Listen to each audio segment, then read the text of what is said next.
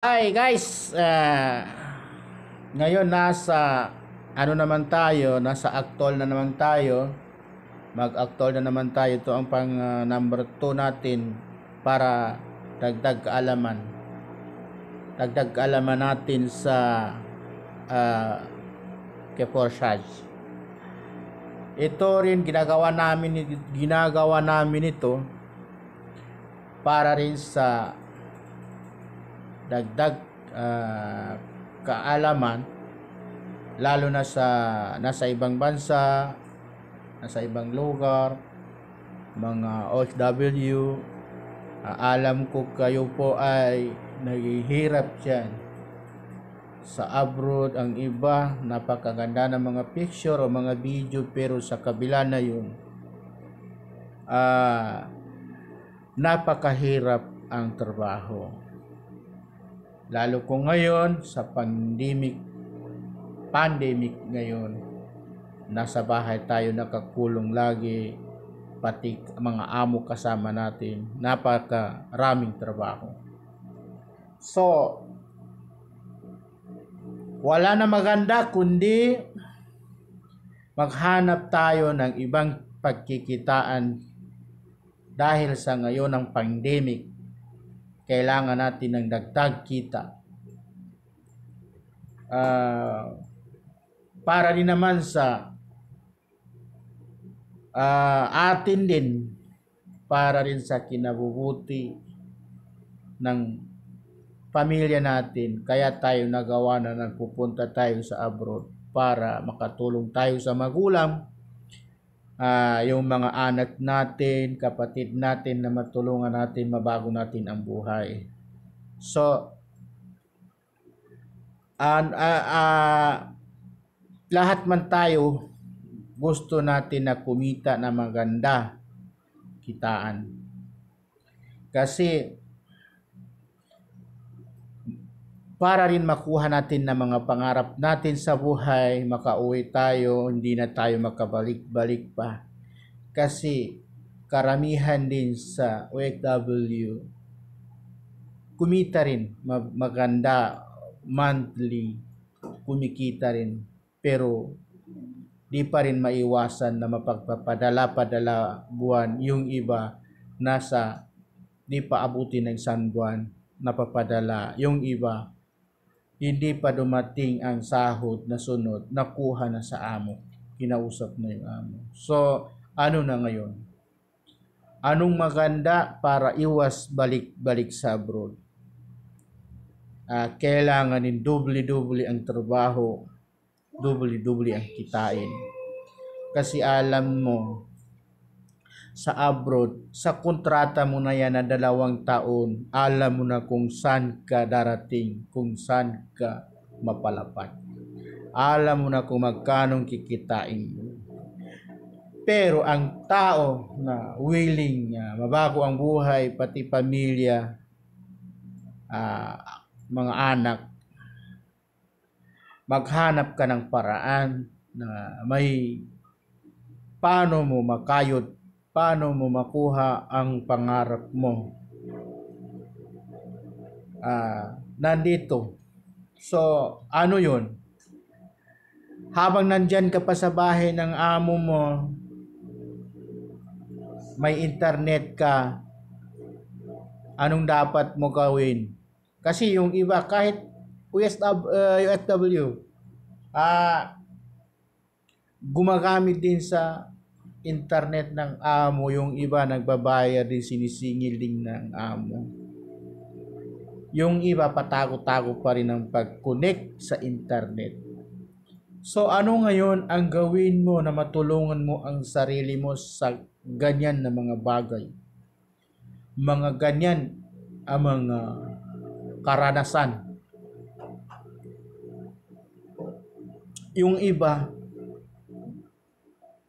yung iba nakakonect pero tago-tago rin ang pagkakonect sa internet. Yung iba nakakonect din pero may kasunduan sa amo na magbabayad din ng monthly. So, napakasakit ang isipin. Ang sahod mo, anong sahod mo sa napirmahan mo, yun din ang sahod mo. Hindi rin nadagdagan ang nadagdagan ang budget na kinakailangan mo. So dapat ang madagdagan din ang kikitain. So tayo na naman dito sa Pilipinas, ano naman ang maging problema natin dito sa Pilipinas? So ngayon, pandemic din, sa buong mundo, pandemic, ang daming nawala ng trabaho tuloy, hindi niya alam kung ano ang simula ng trabaho. Nagbabayad kayo ng internet. O di kaya naglo-load kayo ng everyday. Every two day. Nagbabayad kayo, naglo-load kayo ng 50 pesos. So, magkano na ilabas mo sa one month? Kung 2 days, 3 days. Minsan, di na abuti ng 3 days. Maubos mo yung load mo sa pag-internet.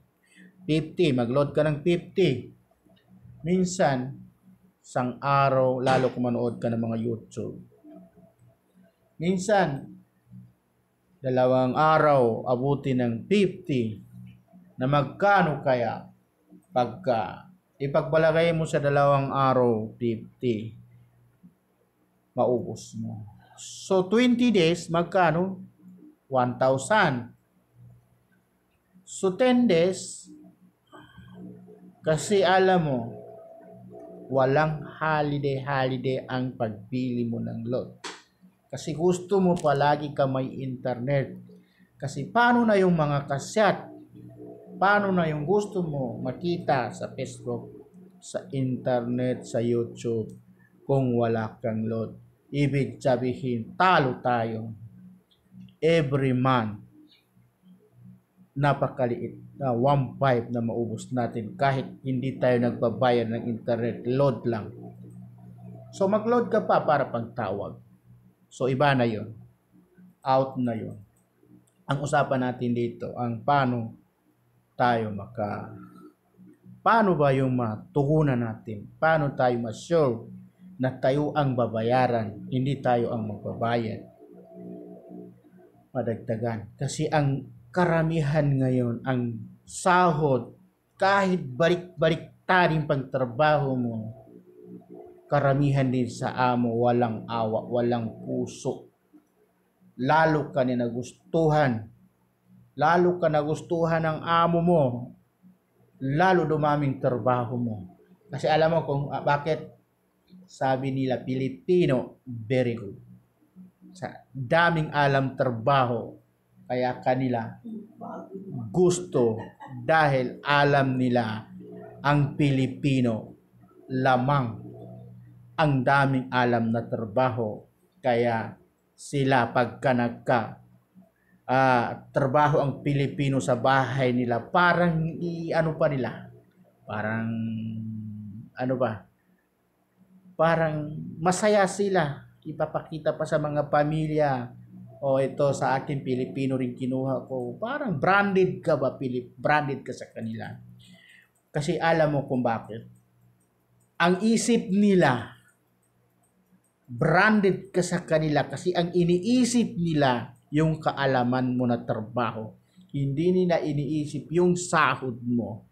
Pero ikaw, Pilipino, kailangan may sarili tayong utak. Alam mo kung ganun, bakit napakasaya sila. Kasi ako naranasan ko na yan. Naranasan ko na yan sa amo ko. Sabi ng amo ko, very good, very nice ang Pilipina. Yung mga ibang mga hindi, mga ano, bulok walang isip, wala. Wala silang kaalam-alam sa mga trabaho. Pero kung Pilipino, halos lahat ng trabaho, alam nila. So, anong mangyayari sa'yo? Dumaraming trabaho mo. Pero yung sahod mo, kahit tam magtumbling-tumbling ka pa rin sa harap ng amo mo sa karaming trabaho. Yung mga amo, pira lang may puso na dagdagan sa kanila. Karamihan sa kanila, pag once na may mali ka, may nasira ka sa mga gamit nila, napaka-bilis na magsalita na ikakat salary ka na. So, ano ngayon mangyayari sa sahod mo? Ano mangyayari sa pamilya mo na umaasa sa iyo paano ka mag-asinso? Siguro, malamang, ah, bibilangin mo na lang pag uwi mo, ilang taon ka na sa Saudi, ilang taon ka na sa ibang bansa. Yun na din siguro di mo na makalimutan. Pero yung sahod mo, wala.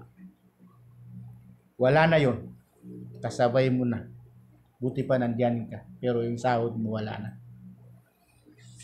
So, ano mangyayari sa'yo pagka wala ng sahod mo, babalik ka. Babalik ka rin sa abroad, sigurado na. Mag-apply na naman ulit. Kaya ito ang dapat natin pagbigyan ng pansin. Ito ang dapat nating pagbigyan ng pansin na paano tayo hindi na makabalik-balik pa sa abroad. Babae man o lalaki, ganito rin na maranasan pag nandyan ka sa abroad, nagtatrabaho. Pag uwi mo, bilangin mo ng araw mo. Isang buwan, o one week, two week, lalo kung pagdating mo, nang nagbibigay mo, bigay mo, halos ubarin mo yung gamit mo, ibigay mo sa kamag-anak mo, kapamilya mo, para rin sa ka- kabaitan mo, ipakita mo sa kanila kabaitan mo. Pero once na maubusan ka, wala ka ng malapitan kasi wala na silang tiwala, kasi wala ka ng sahod. Sinong mayroon? Yung mga tao na hindi nag-abroad. Ikaw, wala na, wala na pumansin, wala na, wala nang pumansin sa'yo kasi naubusan ka ng pera, wala ka ng sahod. So, ano na maging nasa isip mo? Paalam na naman ang ulit, mag-abroad na naman ang ulit, papunta naman sa abroad. Pagdating doon sa abroad, ganun pa rin ang trabaho, ganun pa rin ang sahod. Kaya napakasakit ang isipin. Lalo kung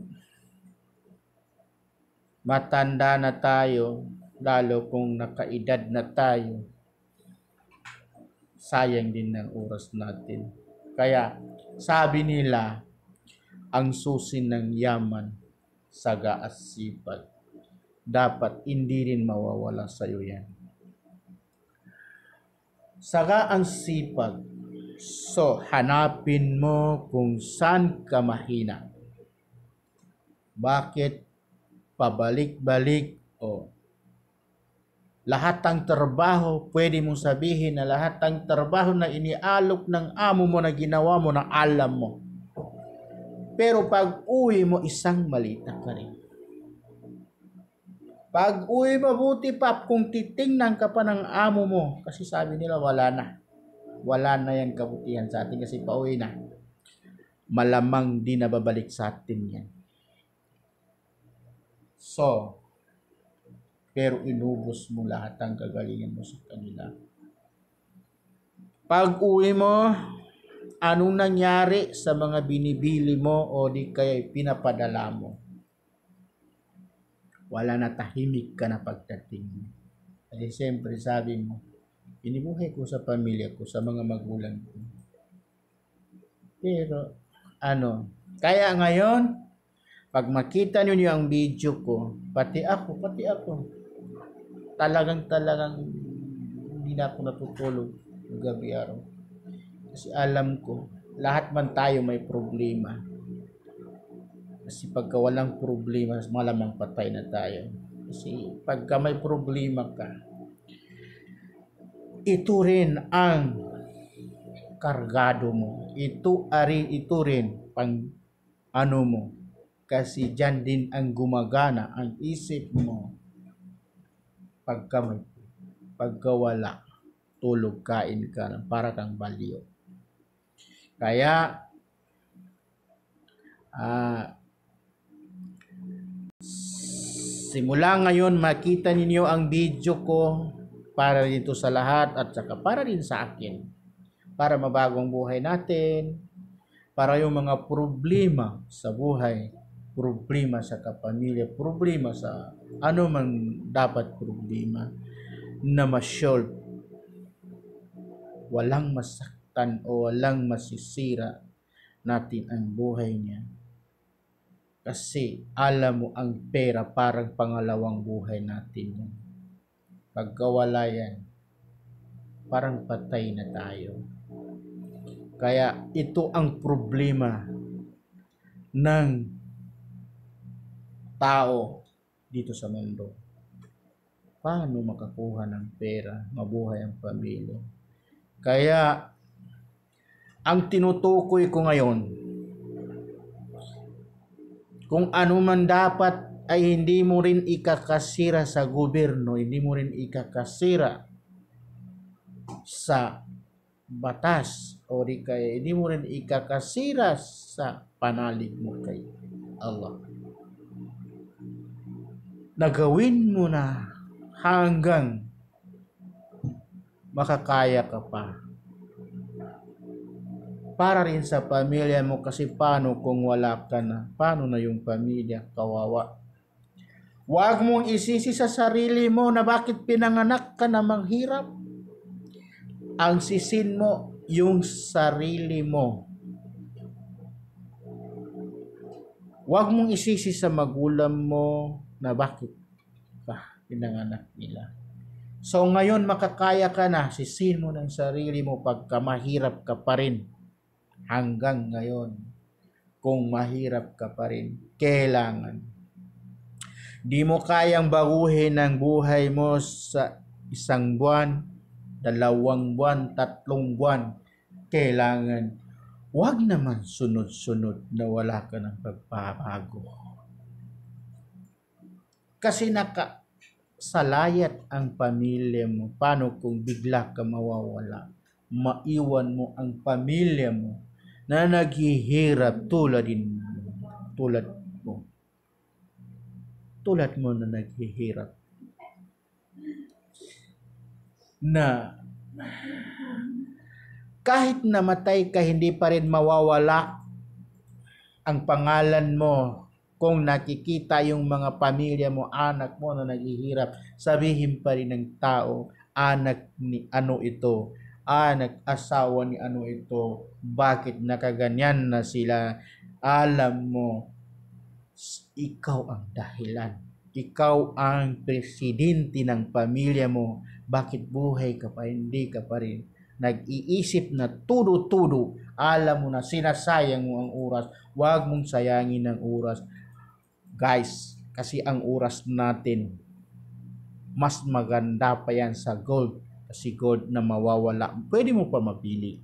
Pero kung oras na mawawala, hindi mo na yan pwede mabili. Hindi na babalik. Ibang oras na nawawala sa iyo. Kaya so ngayon, ah pasensya lang na medyo may nauna pa ah, pang ano ko lang kasi hindi ko na matitiis na kailangan ko rin na unahan ng salita kasi ako parang ngayon pa rin parang nga parang ilang araw pa rin ako galing dyan sa ibang bansa naranasan ko rin ang lahat. Paghihirap dyan. Paghihirap dyan. Pero pag uwi ko, muntik na hindi ako makaabot ng Mindanao dahil walang wala. So nasana napunta yung 7 years, 8 years na pagtrabaho ko, sinisipagan ko. Wala. Walang wala naubos. Kasi wala doon, wala doon ang ano, teknik, wala doon ang ibang wala doon ang ibang uh, pamamaraan na kasi parang sa akin lang okay na yon sahod ko. Pero minsan di pa abutin ng one month, nakukuha na yung sahod. Tayo na nakakalulungkot sa ating mga OFW na dyan tayo naghihirap dahil minsan tabla-tabla rin ang nang, nangyayari. So, ang tinutukoy ko ngayon, ah, paano tayo gigil na gigil sa anumang bagay na ibang pagkakitaan para mapigilan natin ang paghihirap para kahit konti naman, kahit papano naman matikman natin ang natitikman ng mga tao na naging masaya ang buhay kasama ang pamilya na walang problema sa pera. Kasi lahat man tayo ang isipin mo. Huwag mong sabihan ng sarili mo na malas ka. Huwag mong sabihan pamilya mo na pinanganak ka ng taong malas. Pero, pag makita mo yung video ko na to, na bilangin mo ng araw o buwan, pag isang taon ka, five months na wala ka pa rin pagpabago, yun, pagsabihan mo, malas ka. Hanapin mo ang bagay na kumikita ka. Maraming bagay na karapat-rapat kumita tayo. Sa ngayon, ang pagkakitaan ngayon ng pandemic, para diretsuhin ko na kayo, uh, nasa online business. Maraming ibang online business. Pero maraming nagsasabi na bakit hindi ako kumikita sa online business? Baka may pagkukulang ka pa. Paano ka kumikita ng online business? Sumali ka sa online business, wala kang ginagawa. Sali na sali, wala ka rin ginagawa. Bumili ka ng product para ibenta, eh wala mo na wala kang ginagawa, inistambe mo na lang sa bahay mo.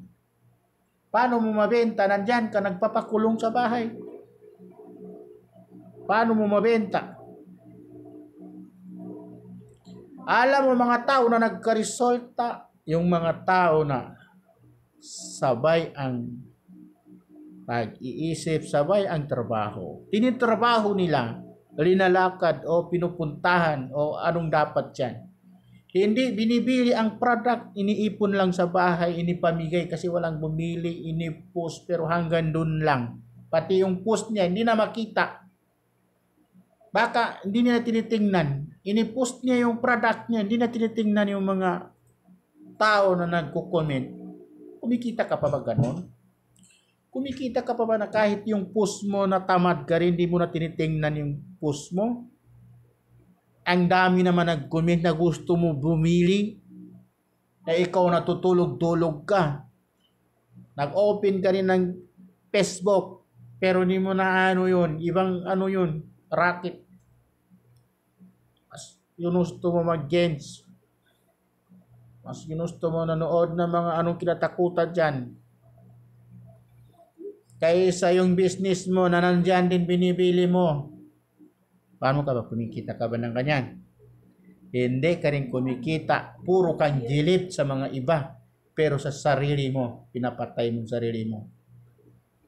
Kaya so ngayon, ang ito rin ang alok ko sa inyo uh, pinaka number one na paano ka makasali sa business na ito. Ito bago pa itong business. Napaka siguro sa ano ba ito? Nasa February 16, 2010.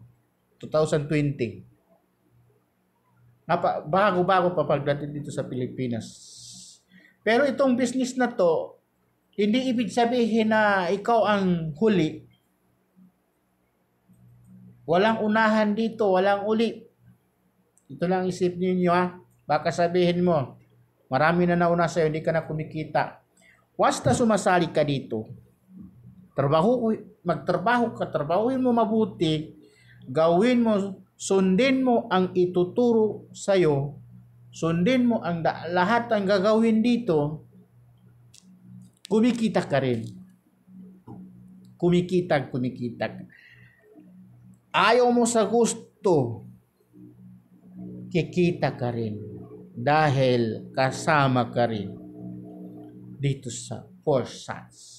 Pagka once na makabili ka sa Ethereum na 0.05, ibig sabihin makuha mo, mapasukan mo dalawang slot na uh, X3, X4. Ang X3, ah, guys, ah, kahit konti lang, magpaliwanag ko lang sa inyo bakit, ano ba yung X3 kasi yung iba, so, yung iba, baka sabihin nila, magsasalita ko dito, yung X3, ano naman ang X3? Ang X3 na yan, para malinos sa inyo lahat. At tandaan niyo ha, ang X3, pag ma-open mo yung X3, kumikita ka rin sa X3 pagka nagka-invite ka. Yan. Sa export, kumikita ka rin sa spillover. Manggagaling sa upline, manggagaling sa pinakal la, pinakababa. Paakyat sa'yo. Yan ang sa kaalam ko. Ibig sabihin, ayaw sa gusto mo, pag nakapasok ka na dito, ayaw sa gusto mo pagka may account ka na, kikita, kikita, kikita ka rin. Pero so, ang tanong, kasi karamihan, ang tanong niya, so, sasali ba ako dyan na kahit hindi ko nagagawin kikita, oh, kikita ka rin. Pero, iba, magkaiba. Kung gusto mo na kumikita na hatawin mo lahat, trabahuhin mo mabuti para malaki ang kikitain mo. Huwag ka lang umaasa, umaasa. Kasi ito, para bigyan ko kayo ng sample ha. Maliit ang sample ko to. Ito si X3, si X4 para ka rin na mamasara ng sasakyan. Ha. Ang export, ikaw ang tao tipong na nag uh, torno. Alam niyo yun siguro kahit bata alam niya kung yung namamasara ng tutorno. Ibig sabihin, pag nagtorno ka sa tornuhan ng sasak namamasada, naghihintay ka kung anong oras na parating yung oras mo o di kaya ilang ka sa nauna sa'yo. Kasi may pagdating ng mga konduktor, inisusulat yung mga, ito, si 1.5, si 1.2, ito ang oras, ito sunod si 1.6 dito sa kay 1.5, ganyan. Na yun, naghihintay ka hanggang sa, hindi mo pa makapuno yung una sa'yo. Yun ang parang expo. Naghihintay ka ng pasya. Kikita ka rin. Pero hinihintay mo pa yun. Hihintay mo pa kung anong oras darating sa iyo ang pillar, darating sa iyo ang kikitain. Kasi umaasa kay si X3 ganun din namamasara rin. Pero ang ginagawa ni X3 kaya siya dubli-dubli ang kinikita napakabilis. Kasi habang naghihintay siya ng palarga, habang naghihintay siya ng uh, oras o di kaya naghihintay siya sa ipang pang ilang siya sa biyahe habang naghihintay siya anong ginagawa niya? Nag-strike strike siya. Kumukuha ng mga pasero sa downtown. Kasi siyempre may contact man siya doon sa tornuhan na hoy para dumating ay, ano umalis na ito. Konti lang natira papunta na kayo dito kasi kayo na ng ano sunod.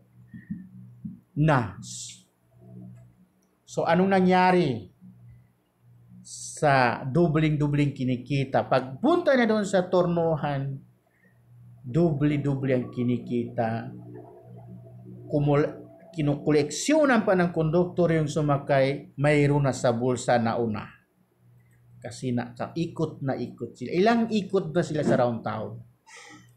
Yun ang uh, X3. Parang X3. Kung gusto mo na dubli-dubli kikitain mo, sipagan mo ang lahat. Pero kung gusto mo na naghintay tamad, tamad ka, hintay ka na kung kailan ka darating playoff. Kasi marami nagtanong sabi niya, mahirap itong mahirap ito. Invite na invite. Invite na invite. Walang mahirap kung gagawin mo ang trabaho mo. Pero kung habang iniisip mo pa, di mo pa ginagawa, mahirap yan. Pati ikaw nahirapan kami. Na. So, walang mahirap na sa ginagawa. Ginagawa ng ginagawa. Pagka nag sabi sabihin natin kasi ito lang iba ha? sabi niya ah, hindi ako marunong mag-invite hindi ako marunong nahihiya ako talaga pag naka-invite ako. Sinasabi ng invite ko. Sinasabi ng invite ayok ko na sasali dyan kasi scam na yan. Kasi ito rin man basta mga tao ngayon ito rin ang iniisip. Kaya tayo nahihirap dito sa Pilipinas kasi puro duda ang ginagawa. Wala sa ayos. Hindi pa niya na-try na nagdududa-duda na. Hindi pa niya na-try nagdududa-duda na sa inialok mo. Karamihan sa mga tan sagot na tao na in-invite mo ayok. Ano nangyari sa iyo? Nasaktan. Sabi mo, ah, hindi na ako mag-invite, hindi na papasok dyan. Mahirap invite. So, nasubukan ko na. Nasubukan ko na pumasok sa ganitong klaseng business. Wala, hindi ako kumita. Paano ka kumikita? Subo, sinubukan mo, hindi mo na ginagawa. Yung sumusubok na ginagawa, ano na ngayon sila mga milyonary na mayroon na mga sasakyan, mayroon na mga bahay. Pero ano ka? Ano hanggang ngayon? Tanungin mo sarili mo, ano ka ngayon? So, ngayon ka. Wala. Walang nangyari. Kasi puro nahihiya, pero hindi ka man nahihiya na wala. Umiiyak ang pamilya mo, umiiyak ang mga anak mo, naghihi. Hindi ka rin nahihiya, pero nahihiya ka mag-invite. Dapat gigil na gigil ka. Kung nag-invite ka naman na ayaw, mag-thank you ka pa sa kanila. Sabi mo, thank you. Salamat. Salamat, ma'am. Thank you, ma'am. Sorry, ma'am. Ah, ganun. Next, next. Pag di mo nakita sa Facebook mo na nasa 5,000 ang friends mo.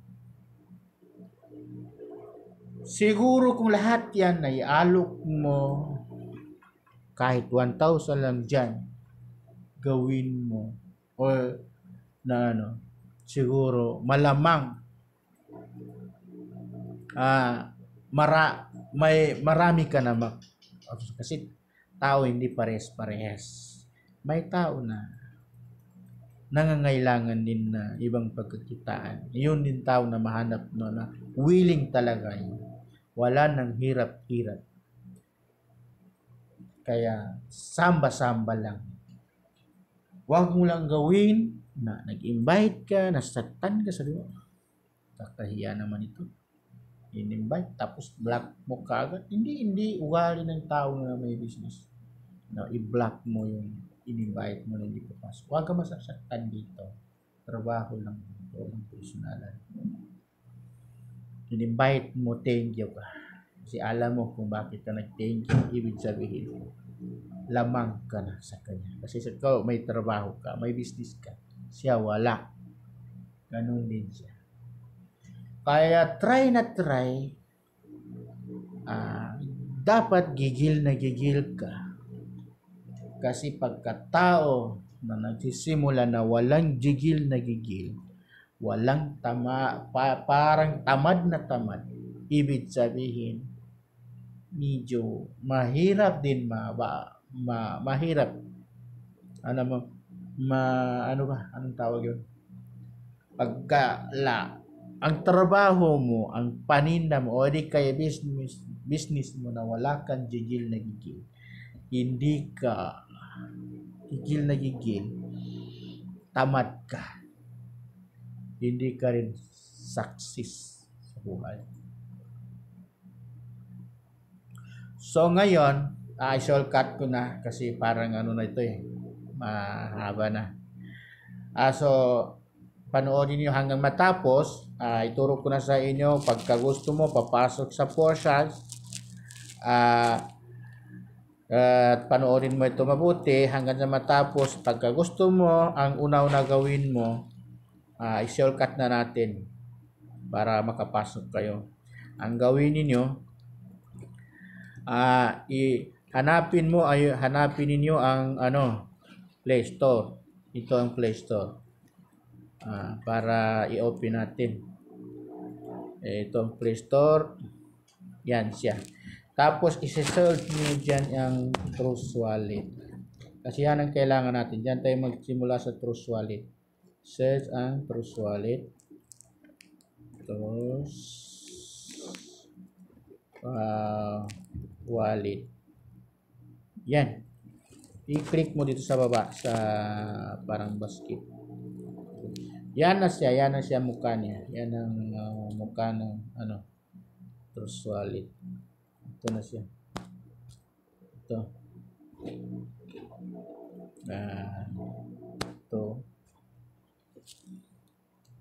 Ito na siya.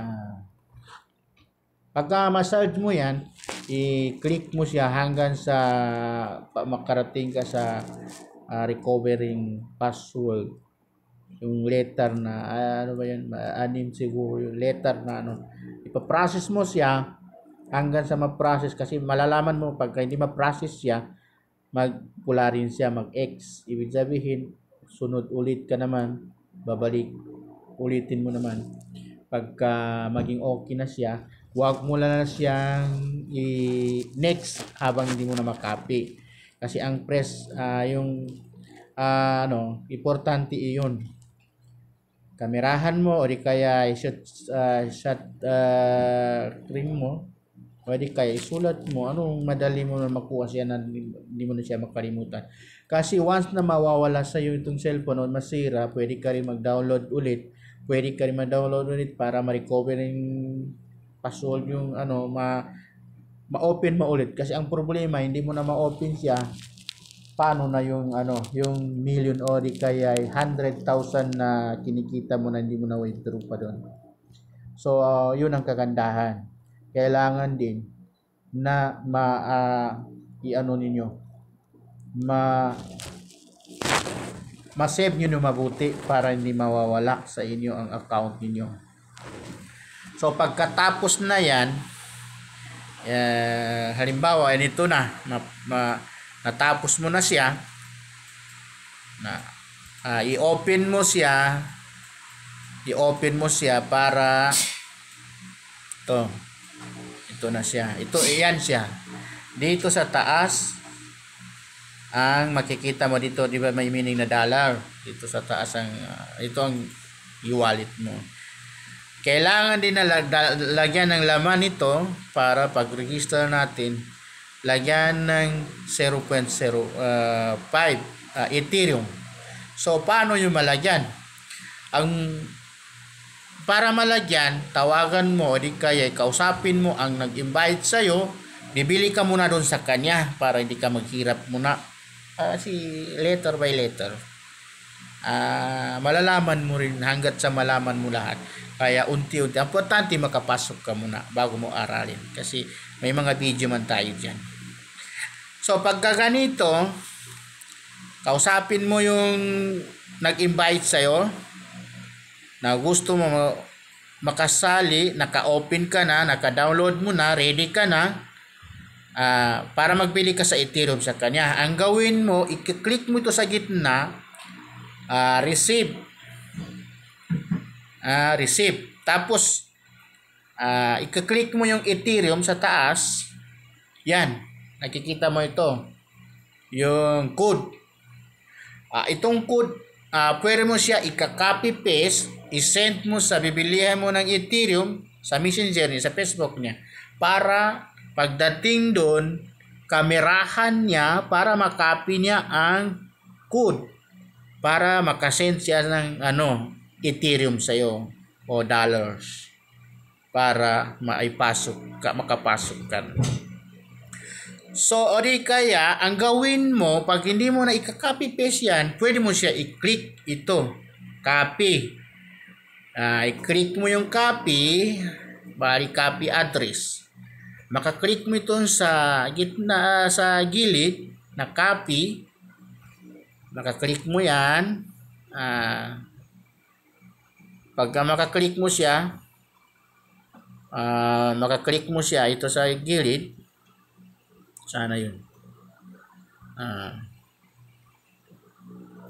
Ito, ito siya. Ito, maka-click mo yan. Ah, i-press, i-press mo na doon sa, di ba nag-chat kayo sa Messenger, sa Facebook niya. I-press mo doon, lumilito yan, lumilito siya, yung copy, uh, link address na e-wallet mo. Lumilito doon sa ano niya. Tapos i-send mo sa kanya para pagdating doon sa kanya, para mabigyan ka, ika-copy paste, ika i-press naman niya ulit para doon sa uh, bitcoins niya makakumbert siya ng Ethereum para ibigay sa iyo. Halimbawa, ibigay sa iyo. So, paano ang transaction na makabili ka? Ang una-una gawin mo, padalain mo na, kausapin mo siya kung magkano na kasi minsan tumataas ang ano, networking fee. Minsan tumaas pero mas maganda dagdagan mo na lang padala mo sa kanya kasi ibibigay man niya sa kanya ibibigay man yan sa iyo lahat, ibabalik yan lahat. Maging itala pagdating yan sa wallet mo makikita mo. Ah, uh, halimbawa 3,000, papadala ka ng 3,000, Uh, kayo na lang bahala kung saan, Palawan o M. Lawler o any, anything, any bank uh, o di kay Cebuana. Basta matanggap niya para mabigyan ka ng Ethereum. Pagka na-receive niya, tapos ikaw na naman, na-send mo na ito, yung code na receive na uh, Ethereum mo, yung ano, uh, Trust Wallet mo, Uh, pag nabili na ikaw, kahit natutulong ka pa, kasi minsan, kasi magkaiba dito sa abroad o di kay doon dyan sa inyo, dito sa amin, sa Pilipinas, magkaiba ng oras. Halimbawa, natulog ka pa, tapos si-applyin mo, tinaransak niya ang kinuha niya yung pera para masentan ka ng ano, Ethereum para makapasok ka. Yun. Pag-send niya agad, pag kamerahan niya itong ano, pag kamerahan niya ito, uh, kamerahan niya yan, tapos pag kamera niya, lalabas ka agad yung amount, magkano ang ibinibi, pera inibili mo. Tapos save. I-send na sa'yo. Pagising mo, i-open mo ulit yung Trust Wallet Uh, halimbawa, i-open, i-open, halimbawa natulog ka, pero napadala mo na yung pera, pati yung code na receive, uh, receive na Trust Wallet mo, napadala mo sa apply mo, pagising mo, open. Pag open mo, yan, ah, nandito na, tuma makikita mo na sa taas ang laman pagka na-send ni apply sa iyo. Ah, dito, makikita mo dyan sa taas. Dito. Ang dollars para pangbili na para sa Ethereum. Anong gawin mo pag nandyan na? Ang dollars. Halimbawa, marami ang Ethereum na 0.05 na yung inibili mo na medyo sobra-sobra kasi yan, uh, ang kukunin naman ng system uh, yung halaga na 0.05 kukunin niya. Matira din ng anong ba anong allowance. Ang gawin mo para magka-register ka na ay uh, click mo to sa baba. 'Di ba may uh, ano dito? Yung for na box. Ito, ito, box. Ito, ito siya. Parang box na 4 yan. Uh, pagka ma-open mo yan, siyempre, nagbibigay si, ano, pagka hindi ka pa binigyan ni hindi ka pa binibigyan ni uh, offline mo yung nag-invite sa'yo na link ni Porsan na ihingin mo pagka isend niya sa yung ang link niya para mapasok ka sa kanya. Pagka na-set na sa iyo ang link, ito, isa taas, itatay, ipapress mo dito yung link. Ah, ipapress mo dito yung link sa taas para pagka ma-press mo dyan, ipindut-pindutin mo dyan para uh, mayroon dito lumilito dito sa baba, pinakagilid na check. Yun na lang pindutin mo. Halimbawa, itong isulat natin ito. Uh, si isulat halimbawa uh, sa akin. Yung sa akin, ha, tingnan yung sa akin. Yung link ko. Halimbawa, isulat natin Porsche. Porsche uh, portion uh, that uh, EO yan, ganyan, ganyan that EO yan, pagka nakasulat yan lalabas yung uh, website ni Portion i-click mo dito sa baba click, yan pagka lumalabas yan uh, ano makikita mo? Hintay natin. Yan. Yan ang ano ni Porsche uh, website. Ang pipindutin mo dyan, yung register. Ito register. Pindutin natin. Tapos, halimbawa, uh, yung sa akin, yung sa akin, ginagamit mo. Tingnan mo maigi. Click natin ang to register. Yan. Makikita mo kung magkanong Ethereum. Ah, ito na. Ito ang ano ngayon, yung kailangan na laman ng ano mo kasi minsan bumaba, tumataas. Ah, yung ano niya, yung network network P ah, $43 po 43 dollars uh, 2.8 ah kasama na yung ano yun, ito, ito ang sinasabi ko na ano